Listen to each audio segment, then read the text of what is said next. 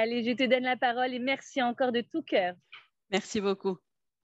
Donc, comme Yardena vous l'a expliqué, j'ai été enseignante, euh, enseignante pendant 16 années, 16 euh, années de, passion pour mon métier et qui m'ont amené aussi à rencontrer beaucoup d'enfants et beaucoup d'enfants aussi avec toutes sortes de difficultés. Donc, c'est ce qui m'a orientée vers l'aide vers à ces enfants-là, donc par la méthode Firestein et ensuite par la graphothérapie. La graphothérapie, c'est la rééducation de l'écriture et de la motricité fine, justement, dont on va parler ce soir. Euh, et je suis aussi maman de quatre enfants, donc euh, j'ai pu aussi expérimenter tout un tas de choses sur euh, mes propres enfants.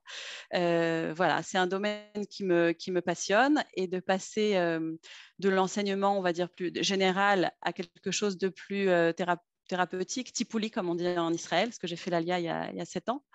voilà, c'est quelque chose qui me comble vraiment et qui me, et qui me passionne chaque jour et pour lequel je me forme aussi toute seule, voilà, sans, arrêt voilà, alors je vais essayer de partager l'écran avec vous. Ah, il faut que tu me, Yardena, il faut que tu m'autorises à partager l'écran.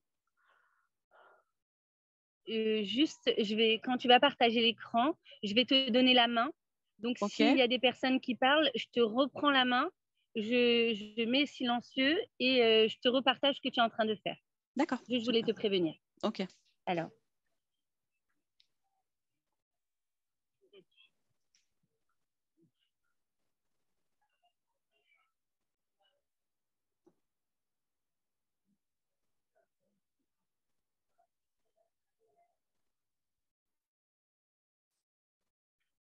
Super.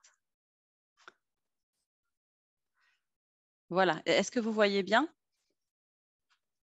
On voit très bien, Nazine. Ok, super. Voilà, donc, donc euh, comme Yardena vous l'a, vous l'a annoncé, je vais, euh, je vais vous parler de la motricité fine, euh, qui est une part très, très importante du développement de l'enfant et aussi, surtout, pour son développement vers l'écriture, ce qui est quand même ma, spécialité.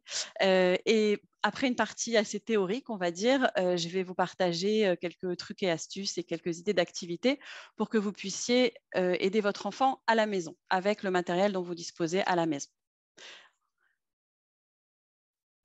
Voilà, donc qu'est-ce que c'est que la motricité fine? La motricité fine, c'est tout ce qui fait appel à tous les petits muscles de la main et des doigts, ce qui permet de, saisir les objets, de les manipuler avec exactitude et précision. C'est-à-dire que alors là, je ne sais plus si voilà.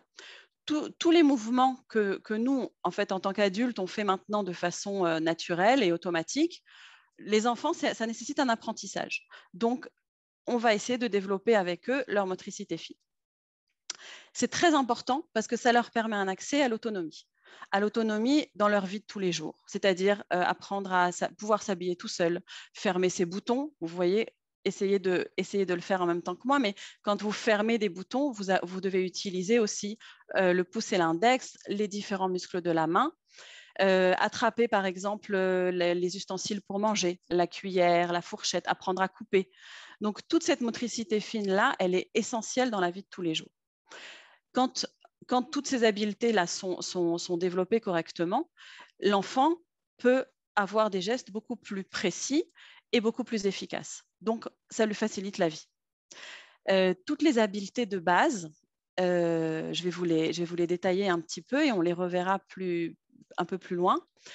Tout d'abord, il y a la dissociation des doigts. Ce qu'on appelle la dissociation des doigts, c'est la capacité de bouger un ou plusieurs doigts de façon isolée, sans que le reste du corps bouge. Je vais vous demander de faire un petit exercice avec moi. Si vous prenez votre main comme ceci et que vous touchez chaque doigt chaque doigt va toucher le pouce. J'espère que, vous voyez bien. Si vous essayez de faire en même temps que moi, vous sentirez la dissociation des doigts. C'est-à-dire que chaque doigt est indépendant et autonome. Ça aidera beaucoup l'enfant quand il, devra ensuite faire des tâches très précises. Ensuite, il y a la, la manipulation dans la main, c'est-à-dire attraper quelque chose avec le doigt, avec les doigts, et le te maintenir dans la main. Vous avez ensuite la coordination entre l'œil et la main. Ça, on s'en sert tous les jours. On s'en sert quand on a besoin de se servir quelque chose, par exemple à table, et de le verser dans son assiette. On s'en sert quand on doit euh, attraper un objet, un crayon, un feutre, le rentrer dans la trousse ou une feuille qu'on rentre, vous connaissez les, lutins, là, les pochettes transparentes, quand un enfant doit rentrer une feuille dans un lutin, c'est la coordination œil-main. Il faut qu'il ait un geste habile et efficace et ça lui facilite la vie au quotidien en classe. Ça lui permet de penser aussi à ce qui se passe en classe et de ne pas être focalisé sur une difficulté de motricité fine. Il y a aussi la, la coordination bilatérale, c'est-à-dire que chaque partie du corps a une tâche précise. Par exemple, quand on doit découper, une main tient la feuille, l'autre main utilise les ciseaux. Et chacune, chacune a sa fonction, chacune a sa tâche. D'accord? On utilise ça on utilise ça tout au long de la journée aussi, nous, en tant qu'adultes, mais on n'y prête plus tellement attention parce a développé cette capacité. Il y a ensuite ce qui s'appelle l'appréhension des objets, donc le fait d'attraper un objet et de l'attraper de façon précise, c'est-à-dire entre le pouce et l'index, ou quand il s'agit du ciseau, entre le pouce et l'index avec l'aide du majeur. Et vous pourrez observer vos enfants euh, petit ou grand d'ailleurs, ou même vous-même. Essayez, si vous avez un petit objet à portée de main, essayez de l'attraper. J'espère que vous voyez, voilà, j'ai un tout petit objet là. Normalement, quand vous attrapez un tout petit objet, vous l'attrapez entre le pouce et l'index. D'accord? Ça, c'est la bonne préhension, c'est la bonne façon de tenir, la façon la plus efficace et la plus facile. Mais si vous... Attendez, je vais prendre quelque chose d'un peu plus gros parce que je pense qu'on verra mieux. Voilà. Si vous observez vos enfants, vous verrez que certains l'attrapent comme ceci, entre le majeur et le pouce, ce qui pose après des, difficultés pour d'autres outils un peu plus fins ou un peu plus précis. Il y a aussi une autre, une autre euh, habileté très très importante, c'est la force. Il faut qu'il y ait une bonne dose de force dans la main et dans les doigts pour pouvoir réaliser toutes les manipulations fines qu'on est amené à faire tout au long de la journée. Donc, au cours des premières années de la vie de l'enfant, toute cette motricité fine et tous ces gestes de base se mettent en place. Et au fur et à mesure qu'il avance en âge, à force que ses habiletés se, se, développent et se renforcent, il est capable de faire des choses de plus en plus précises et de plus en plus fluides. Voilà, toutes, ces activités-là, on va les retrouver aussi, évidemment, à l'école. En plus de sa vie de tous les jours, on les retrouve à l'école. Et en général, c'est ce qu'on appelle des tâches secondaires, c'est-à-dire que c'est ce que je vous disais tout à l'heure pour les, pochettes en plastique, pour euh, coller, pour découper. Il arrive très souvent qu'un enfant soit amené à faire ces tâches-là en complément ou en soutien d'une activité plus précise, comme par exemple euh, faire un exercice. En maternelle, par exemple, en, fin de maternelle, il arrive qu'on demande à un enfant de découper des étiquettes avec des mots, par exemple, et après de les coller dans l'ordre pour faire une phrase. L'objectif de l'enseignante, ça sera la phrase qui sera bien reconstituée par l'enfant. Mais en vérité, si l'enfant a des difficultés au niveau de la motricité fine et qu'il n'arrive pas à découper ou qu'il n'arrive pas à coller précisément, alors son exercice ne sera pas réalisé correctement parce qu'il n'arrivera pas à faire ses tâches de base. Et donc, on ne pourra pas se rendre compte si vraiment il a réussi à reconstituer la phrase parce qu'il savait reconstituer une phrase ou pas, mais à cause des difficultés en motricité fine, il va être empêché de réaliser correctement cet exercice-là. Donc, c'est vraiment, des habiletés de base, comme leur nom l'indique, qui sont essentielles à, toutes les parties de sa vie, aussi bien l'autonomie, comme on l'a vu, aussi bien euh, les apprentissages plus spécifiquement, mais aussi tout ce qui est confiance en soi. C'est-à-dire qu'un enfant qui, arrive à se débrouiller tout seul et à être autonome sera très fier de ce qu'il a réalisé et développera une confiance en, lui aussi importante euh, voilà, en parallèle. Donc concrètement, euh, voilà, je vous ai mis ici des photos d'enfants qui tenaient par exemple leur crayon de façon incorrecte ce sont des enfants qui n'ont pas. Alors, il y, a, tous les âges. Hein. J'ai travaillé, euh, je travaille avec des enfants qui ont 4-5 euh, euh, ans jusqu'à des enfants qui ont 13-14 ans. Donc, évidemment, c'est plus facile de rééduquer le geste d'un enfant de 3-4 ans ou avant le, avant le, CP ou la Kita Aleph qu'un adolescent de 13 ans, mais on y arrive aussi. Et voilà, à, défaut d'habileté motrice solide, on arrive à, ce genre de difficultés. C'est-à-dire que ce sera un enfant qui, par exemple, tiendra son crayon de façon euh, assez artistique, on va dire, et qui se fatiguera beaucoup plus vite au niveau de l'écriture, euh, qui n'écrira pas de façon précise et qui, petit à petit aussi peut arriver à se décourager ou à refuser d'écrire. ça peut arriver aussi euh, que des enfants euh, refusent de s'habiller, par exemple, parce que parce que c'est trop difficile pour eux. C'est pas forcément de la paresse, c'est pas forcément qu'ils refusent euh, par principe, c'est aussi parce que c'est difficile. Donc un enfant qui a du mal à boutonner sa, sa chemise ou son pantalon ou à faire ses lacets, il aura tendance aussi à refuser de le faire. Donc donc, en, développant toutes ses capacités motrices, on, on l'aide à devenir autonome et à prendre confiance en lui.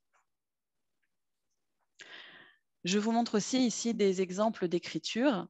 Euh, vous avez certainement vu voilà, ce genre d'écriture qui est euh, plutôt illisible, on va dire, euh, parfois même illisible pour l'enfant qui a écrit. Euh, et ça rend les choses très compliquées. Enfin voilà, là je m'adresse euh, à des mamans, vous savez, euh, de quoi je parle quand le soir on n'arrive pas à relire les devoirs que l'enfant a écrits en classe, par exemple, et qu'on doit user de son réseau de mamans dans la classe pour, récupérer les, consignes qui sont à faire pour le lendemain. Enfin ça peut créer des conflits, ça peut créer des tas de choses très très désagréables pour l'enfant. voilà, qu'on peut, peut réparer, entre guillemets, en développant la motricité fine de l'enfant. Voilà, donc je vais, vous proposer euh, pour justement essayer d'atténuer ces difficultés et développer euh, la motricité fine de vos enfants, des idées, des idées très concrètes avec euh, des activités amusantes, des activités qui permettent aux enfants de grandir et des activités que vous pouvez réaliser avec des objets du quotidien. C'est-à-dire que tous les objets dont je vais vous parler, vous les avez à la maison ou vous les trouvez facilement dans n'importe quelle euh, solderie ou bazar ou choses comme ça. Et avec un peu d'imagination et un peu de et un peu d'humour, on peut arriver à faire à faire beaucoup de choses avec les enfants et à leur donner envie de le faire sans qu'ils se rendent compte que c'est un exercice. C'est aussi très important de les, de, les, de les, motiver et de leur donner envie de faire les choses sans forcément leur faire remarquer que c'est pas comme ça qu'on fait ou que ou qu'ils tiennent pas correctement, etc. Surtout quand ils sont petits même grands d'ailleurs, encore plus pour les grands, je vais dire, euh, leur, montrer, euh, leur montrer comment on tient.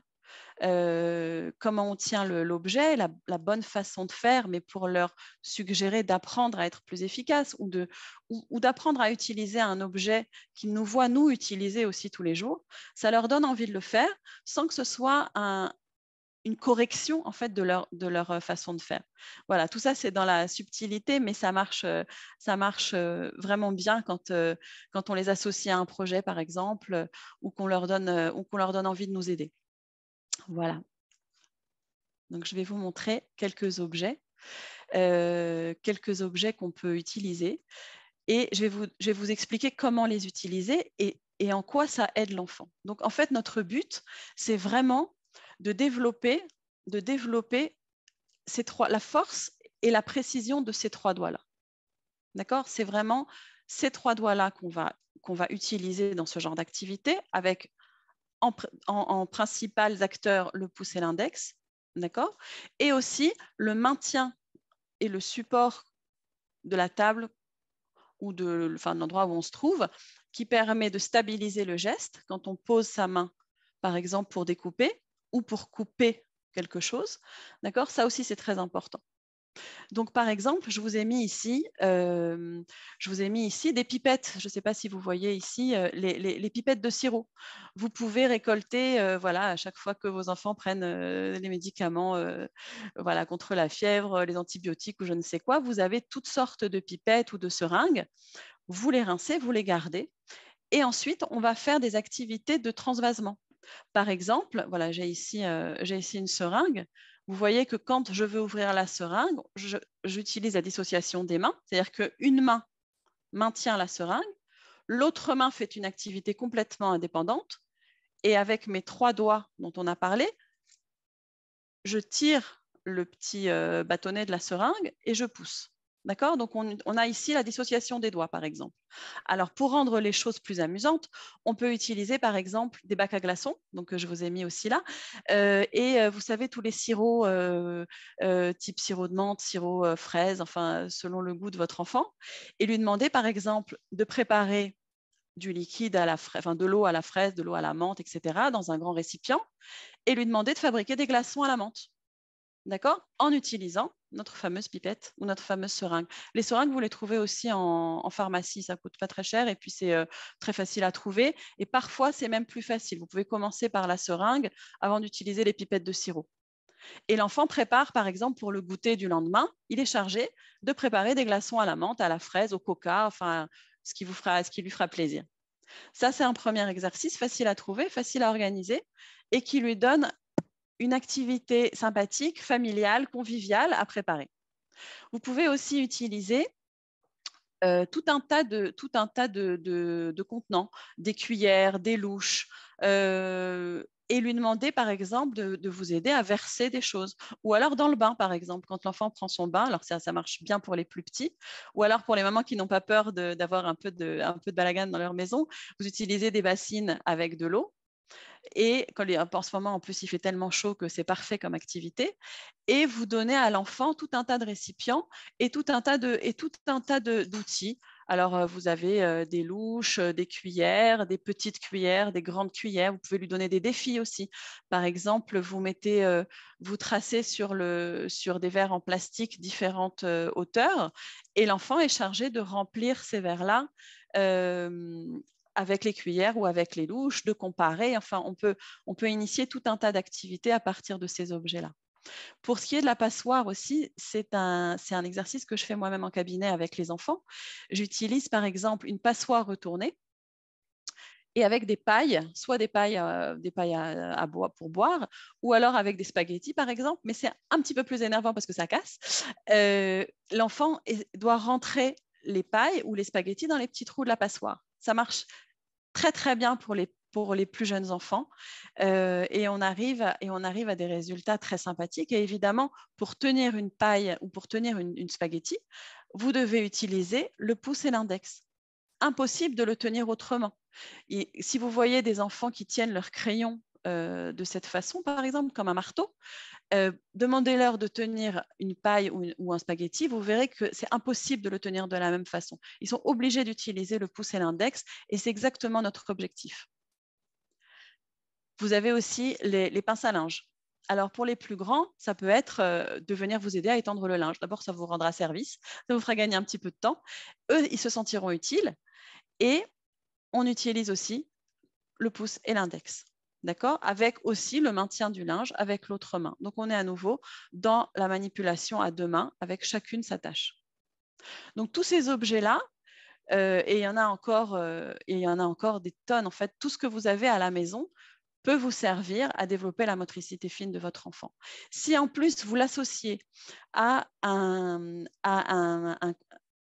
une aide euh, pour la famille ou une participation à ce que vous-même vous êtes en train de faire, ça rend l'enfant, très autonome, ça rend l'enfant très fier de ce qu'il est en train de faire et il est, en train de développer et sa motricité fine et sa confiance en lui. Par exemple, je vais vous donner plein d'autres petits, euh, objets que j'ai récoltés là. Vous avez euh, les baguettes chinoises. Les baguettes chinoises, c'est extraordinaire pour la motricité fine. Et alors, en plus, si vous faites une sushi party, je pense que toute la famille sera contente. Vous pouvez aussi les fabriquer à la maison. Euh, vous avez aussi euh, tout ce qui est fouet, batteur, etc. Comme vous le voyez ici, ça fait travailler, euh, ça fait travailler le poignet. D'accord Ce qui est aussi excellent. Vous avez par exemple, alors je vais sortir des objets qui vont peut-être vous effrayer un petit peu, mais vous prenez un vaporisateur, d'accord, des produits pour les vitres ou autres autre contenants de cette forme-là, vous le rincez, vous remplissez avec de l'eau, donc aucun risque pour votre enfant, et vous lui demandez par exemple de vous aider à vaporiser sur, vos plantes ou même de nettoyer les carreaux si, euh, voilà, si vous êtes un peu plus téméraire. Euh, le fait d'utiliser cet instrument-là et de faire ce geste-là, ça renforce aussi le pouce et les doigts. D'accord? Donc là, on travaille la force. Si en plus vous l'associez à une raclette pour la, fenêtre, vous faites ce geste-là et vous faites travailler aussi bien le bras, le poignet que l'épaule. Et en même temps, vous renforcez tous ces éléments-là. On dirait une pub pour Monsieur Propre. voilà. Euh, voilà, donc tous les objets que vous avez à la maison, en fait, vous pouvez les détourner et les utiliser pour faire travailler l'enfant au niveau de la main, au niveau des doigts, au niveau du bras aussi. Quand vous lui donnez une éponge, par exemple, pour nettoyer une table, il fait travailler aussi toutes les parties du bras.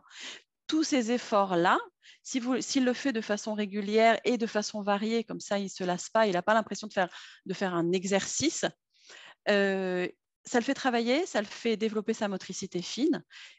Et il s'en rend, j'allais vous dire, il s'en rend même pas compte. Ou même s'il s'en rend compte et que vous préparez, par exemple, une grande boîte vous savez, les boîtes à compartiments, avec tous ces petits objets-là, il trouvera même de lui-même euh, des idées d'activité.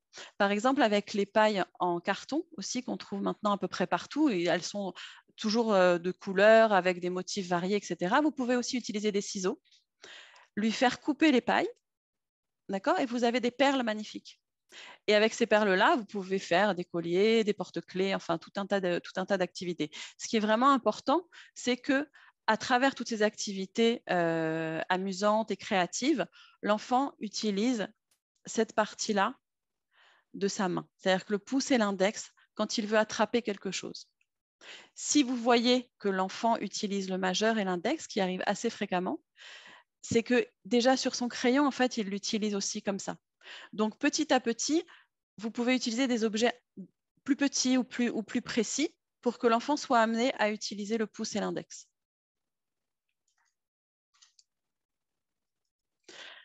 Voilà, je vais vous donner d'autres idées très, très, très concrètes. Très concrètes.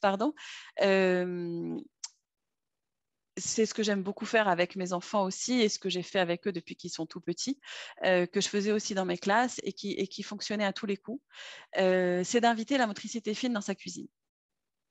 Donc, on est tout amené à préparer, voilà, à préparer des repas, à aller faire des courses, etc.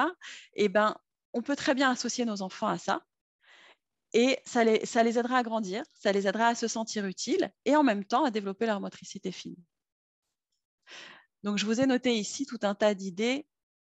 Euh, ben, vous, allez, vous allez retrouver euh, des choses que vous faites vous-même euh, tout le temps.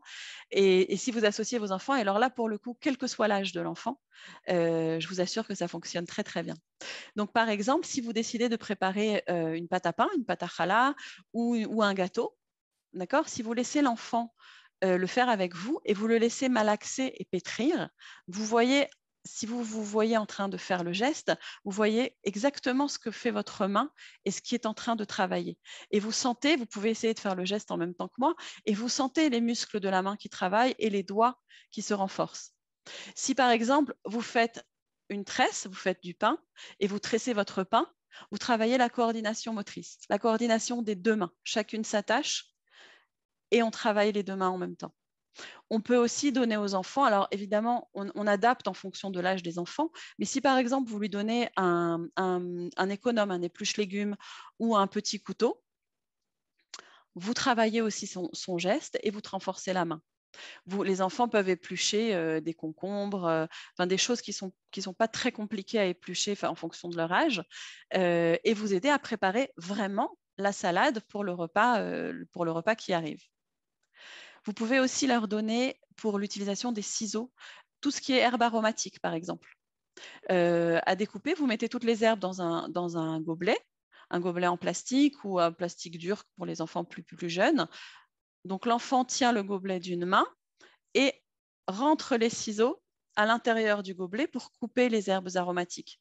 Donc il fait travailler le geste de découper avec, le, avec les ciseaux et en même temps, il tient un autre objet dans sa main. Vous pouvez aussi lui faire, euh, lui faire presser, des, presser des agrumes pour faire des jus.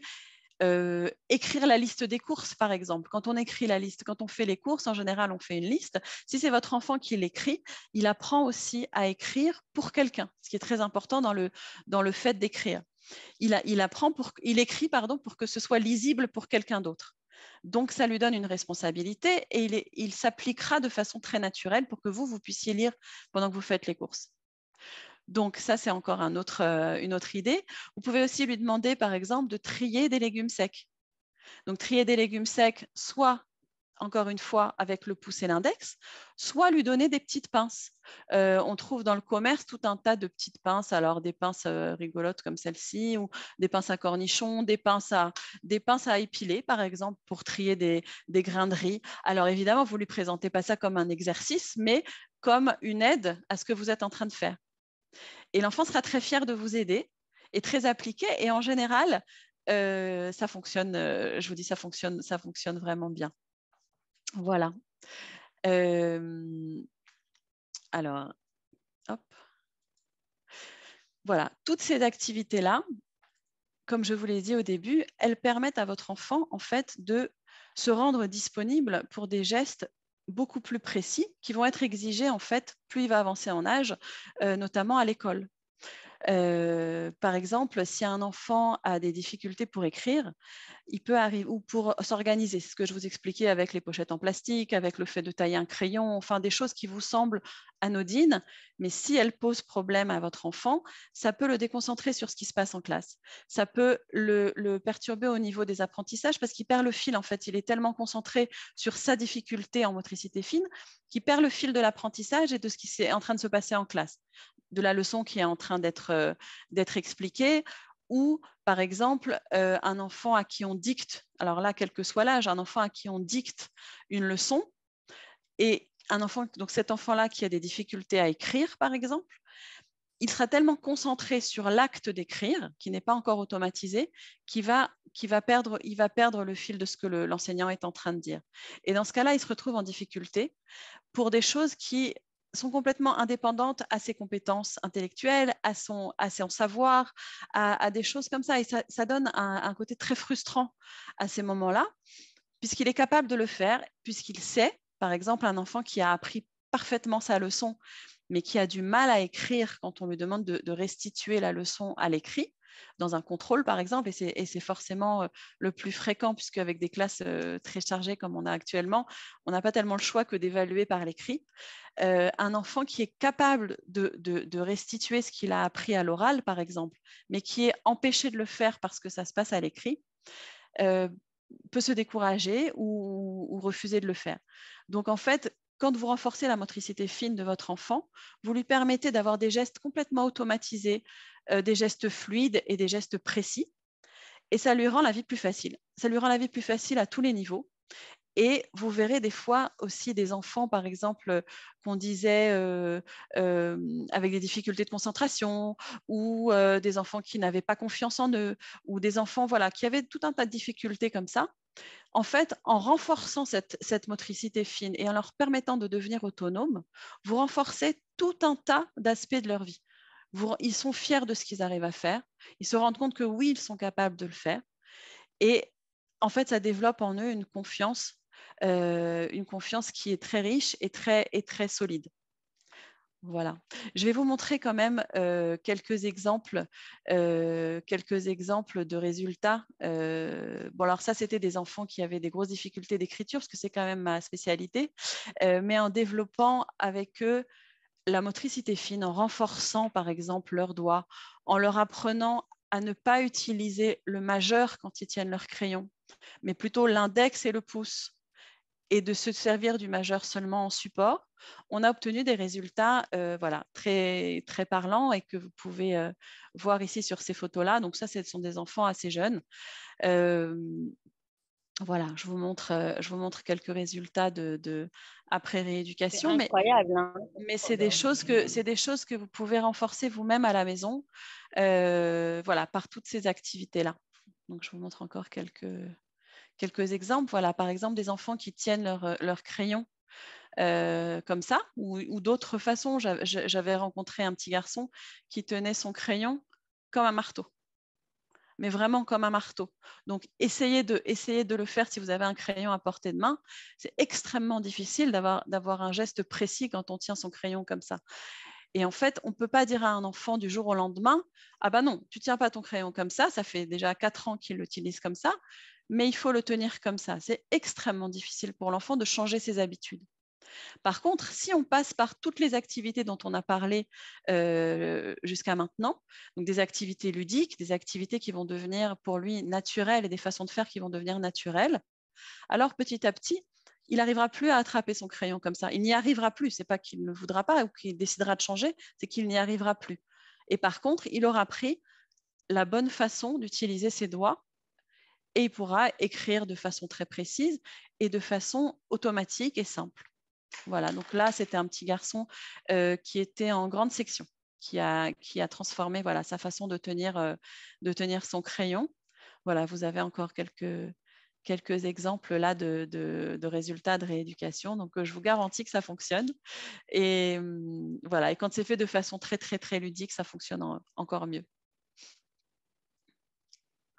Voilà. Donc, j'espère que je vous ai euh, éclairé un petit peu. Si vous avez des questions, euh, si vous avez des questions, surtout n'hésitez pas. Je vous, je vous donne la parole. Enfin, c'est plutôt Yardena qui vous donne la parole. Voilà. Nadine, tu veux qu'on laisse les questions à la fin ou bien? Euh, ben, en fait, je préférais qu'elles soient posées maintenant, comme ça, ça me permet de répondre concrètement en fait aux mamans qui se, qui s'inquiètent ou Déjà, j'aimerais te remercier et te féliciter parce que là, en, quelques temps, en quelques minutes déjà, tu nous as donné une, une, vision de ce qu'on doit faire, des exercices tellement intelligents, mais ça, intelligents, pratiques. Donc vraiment, je te remercie, c'est tellement important. Et bien sûr, on donne. Alors, vous pouvez réouvrir vos micros euh, et poser des questions en direct avec Nadine.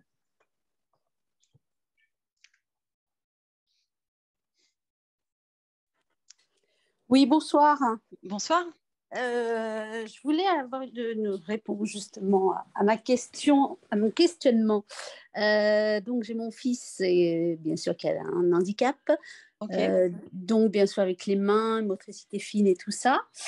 Et il n'a pas beaucoup de muscles en fait au niveau des mains et des doigts. Bon, donc il ne sait pas faire ses lacets, difficulté du moins à faire ses lacets, à fermer les boutons comme vous disiez en début. Et euh, je voulais savoir quels sont les exercices, parce qu'il a quand même 20 euh, ans maintenant, quels sont les exercices que je peux faire parmi tous ceux que vous avez cités? Est-ce que je peux tous les lui faire faire ou bien il y en a d'autres qui marcheraient euh, plus facilement en fait? Et s'il a, a, une difficulté au niveau de la, de la force et du tonus, oui, vous, pouvez, vous pouvez utiliser tout ce qui est fabrication de, de, pâtes comme la pâte à pain, comme la, mhm, pâte à, la pâte à sel, par exemple. La pâte à sel, c'est excellent parce que c'est plus dense c'est plus dense et ça permet aussi de faire, euh, de faire après quelque chose avec. C'est-à-dire que mhm. vous pouvez lui faire faire des... C'est concret, c'est concret et puis après on peut se servir aussi des objets qu'on a réalisés, surtout quand, quand on a des jeunes adultes comme ça ou, des, ou même des adolescents, puisque des adolescents, c'est encore une autre, euh, une autre histoire. Il faut arriver à les mhm. motiver et à leur donner envie de faire des choses. Mais si mhm. vous utilisez ce que vous avez fabriqué avec, votre, euh, avec votre fils, euh, alors, par exemple, la pâte à sel, ou alors après, et en fait, vous pouvez y aller de façon graduée. C'est-à-dire que si vous commencez, par exemple, avec de la pâte à pain, c'est beaucoup plus mhm. souple. Vous enchaînez après avec, pas tout de suite, mais dans une autre, euh, une autre séance ou un autre moment, mm. avec de la pâte à sel, euh, qui est un peu plus dense. Et ensuite, vous avez aussi tout ce qui est argile. Tout ce qui ça se trouve dans les, voilà, dans les, dans les magasins. Voilà. Et, mais là, par exemple, vous pouvez faire quelque chose, que, un, ustensile, un pot, un, mm-hmm. un, récipient que vous pouvez ensuite peindre une fois que c'est sec.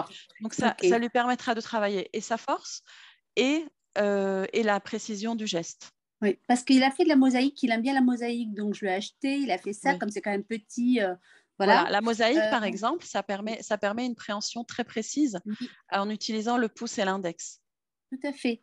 Tout à fait. Mais euh, je voulais savoir voilà, s'il y avait d'autres euh, euh, d'autres activités que je puisse lui faire faire. Bon, c'est vrai que je ne le fais pas tout le temps, quoi, régulièrement, malheureusement. pardon, ce que vous pouvez utiliser aussi, si vous avez, si vous avez la place de le, de le mettre chez vous, c'est un tableau vertical, un tableau, vous savez, les tableaux Velleda, les tableaux blancs que vous mhm. pouvez mettre à la verticale. Si vous avez le moyen d'accrocher, on vend aussi en, dans les magasins de bricolage ou de choses comme ça, mhm. du papier autocollant euh, type oui, oui, oui, oui, Si vous pouvez euh, voilà, aménager un endroit comme ça.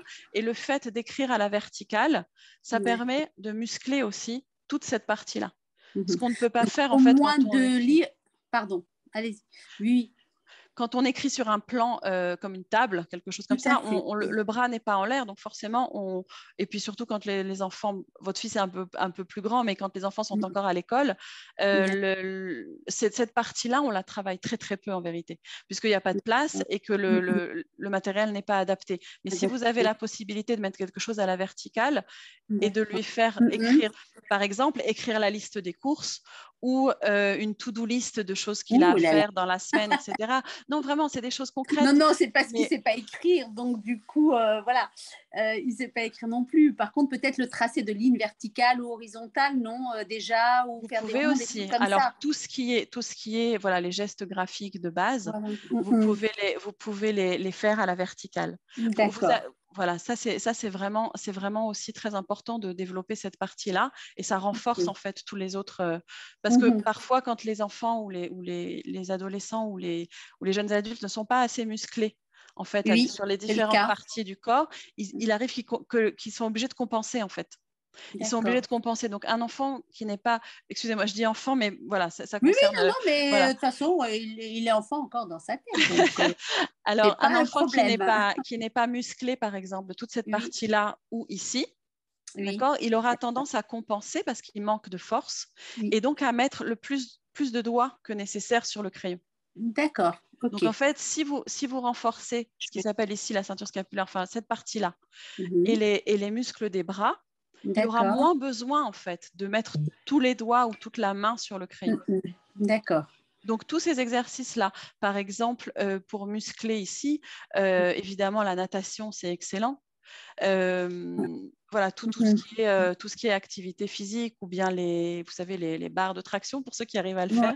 Mais bon, ça c'est encore une autre, une autre histoire. D'accord. Ben, écoutez, je vous remercie beaucoup en tout cas. Je vous en prie. Merci.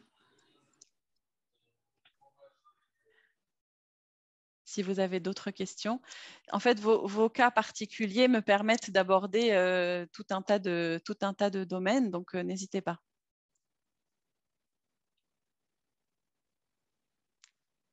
Donc apparemment, ça a été très très clair, Nadine. C'était très riche, très théorique et aussi beaucoup de pratique. Euh, vraiment, c'est magnifique.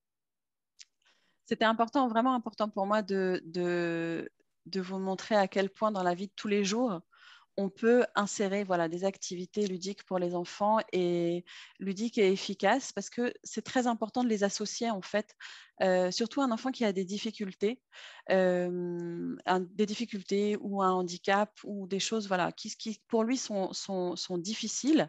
Euh, le fait de lui dire voilà, j'ai confiance en toi, tu peux m'aider. En fait, tu, tu es capable de m'aider euh, ça le renforce, ça le renforce dans tous les points de sa vie, dans tous les domaines de sa vie, et ça lui, permet d'accomplir des tâches que lui-même ne pensait pas qu'il était capable de faire. Donc euh, voilà, que ce soit au niveau de la motricité fine ou au niveau de, tous les types de difficultés en fait des enfants, que ce soit la concentration, que ce soit euh, le côté créatif. voilà, vous pouvez, vous pouvez y aller sans limite en fait, sans limite. Euh, et avec du matériel peu coûteux, du matériel facile à, facile à trouver. Voilà. Et, tu proposes des ateliers, Nadine? Peut-être tu peux nous parler de tes ateliers? Oui, ça, alors. Ça en Zoom ou qu'en présentiel?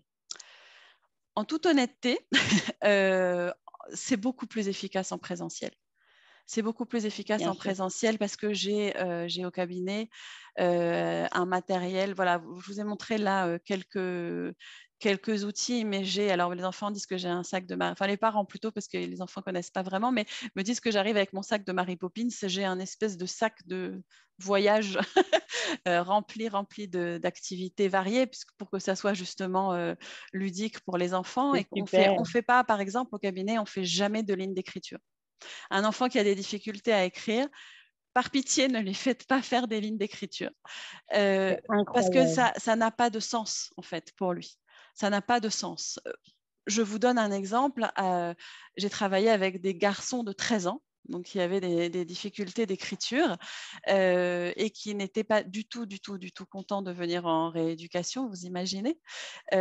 si j'avais proposé des lignes d'écriture, je pense que je les aurais vues une fois. et en fait, il faut ruser. Il faut ruser. Donc, on peut écrire par exemple une histoire, on invente une histoire, on invente des personnages. Et quand on écrit une histoire, par exemple, on, l'écrit pour quelqu'un. Ça donne aussi du sens. C'est-à-dire que quand, euh, un enfant euh, a une écriture complètement illisible et que je lui dis, mais est-ce que tu arrives à te, relire? Évidemment, lui, il se rappelle de ce qu'il a écrit. Donc il me dit, bah, évidemment, euh, moi j'ai écrit ça, ça et ça. Donc c'est faussé, il n'a pas, pas la bonne vision de ce que lui-même a écrit. Par contre, si un, tiers euh, lit, son texte et n'arrive pas à le lire, il se rend compte qu'il y a, un petit problème et qu'il faut, euh, travailler là-dessus. Donc l'histoire, par exemple, écrire un petit livre ou, écrire, euh, faire un petit, reportage sur les vacances ou sur un moment important qu'on a passé en famille ou des choses comme ça, ça peut le motiver à écrire ou écrire une lettre écrire une lettre à quelqu'un de proche, euh, ce qu'on fait de moins en moins maintenant, mais c'est quelque chose qui est motivant pour l'enfant. Donc, quand il écrit pour quelqu'un, il aura beaucoup plus envie de s'appliquer, de, mettre de l'espace entre les mots, euh, d'écrire euh, relativement droit, joliment, etc. Donc, c'est très, très important de donner du sens aux activités aussi pour les motiver. Magnifique, Nadine. magnifique. Ça va lui augmenter son estime de soi, sa confiance. Et au final, il aura plus de concentration et il va mieux réussir à l'école. Donc, on ne fait pas de l'écriture avec lui, on commence par les activités. On commence par des activités et même si on écrit, on écrit pour quelque chose, dans un but précis euh, qui, voilà, qui, a du sens pour lui. Et, je voulais juste, euh, en général, je, compare les difficultés de motricité fine à un petit caillou dans la chaussure. Vous avez toutes euh, déjà eu fait cette expérience d'avoir un petit caillou dans votre chaussure.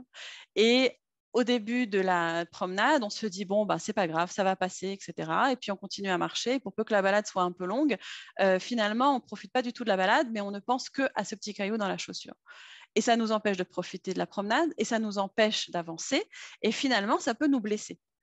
Et les problèmes de motricité fine ou les problèmes d'écriture par la suite, c'est à peu près ça. C'est-à-dire qu'au début, on se dit, bon, bah, c'est pas grave, il tient son crayon comme ça, ça lui passera. Euh, bon, bah, c'est pas grave, il n'arrive pas à se boutonner tout seul, bon, il y arrivera bien un jour. Mais finalement, si on ne leur donne pas un petit coup de main, le caillou reste dans la chaussure et puis finalement, ils, sont euh, focalisés là-dessus et ça les empêche de profiter de beaucoup de choses. Et on a aussi des enfants qu'on taxe de euh, euh, hyperactifs, alors euh, pas dans ce cas-là, mais des problèmes de concentration par exemple, ou, une espèce d'insolence quand l'enfant dit non, je veux pas écrire, ou voilà, il y a plein, de difficultés comme ça qu'on peut éviter en les aidant à développer cette motricité fine et du coup en les rendant beaucoup plus autonomes.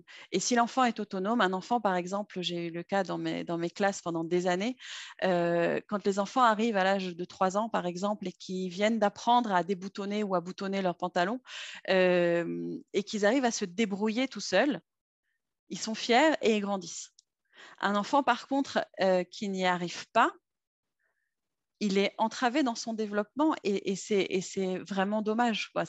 J'ai vu, vu, des enfants s'épanouir au fur et à mesure qu'ils atteignaient l'autonomie euh, de façon impressionnante. Donc voilà, pour la motricité fine, c'est la même chose et ça les aidera vraiment, vraiment dans, beaucoup, beaucoup d'aspects de leur vie quotidienne et de leur vie d'élève. Incroyable. Voilà. Incroyable. C'est fantastique, Nadine, ce que tu nous as offert ce soir. Merci infiniment. Avec grand, grand plaisir. Si vous avez des, questions plus personnelles ou, euh, ou euh, voilà, des, des, coordonnées. Vous, voilà, évidemment, n'hésitez pas à m'appeler ou m'envoyer un petit message. Je répondrai avec grand plaisir. Magnifique. Alors, je, je vous enverrai, euh, chers amis, je vous enverrai, si Dieu veut, le replay jeudi si Dieu veut. Et on remercie infiniment Nadine pour tout ce travail. Euh, toutes ces expériences, parce que nous, c'est en une heure de temps, mais j'imagine que c'est euh, avec beaucoup d'expérience et d'études qu'elle a pu nous offrir ce, très beau diaporama. Et euh, on se retrouve la semaine prochaine, si Dieu veut. Merci beaucoup. donc, merci Nadine. Merci à toutes d'avoir été présentes. On vous embrasse très, très fort d'Israël. Merci. Merci beaucoup, en tout cas. Merci, avec plaisir. Au plaisir. Au revoir. Au revoir. Merci beaucoup. Merci Nadine, c'était juste fantastique. Merci. Au revoir, ma chérie. Merci. Bye bye.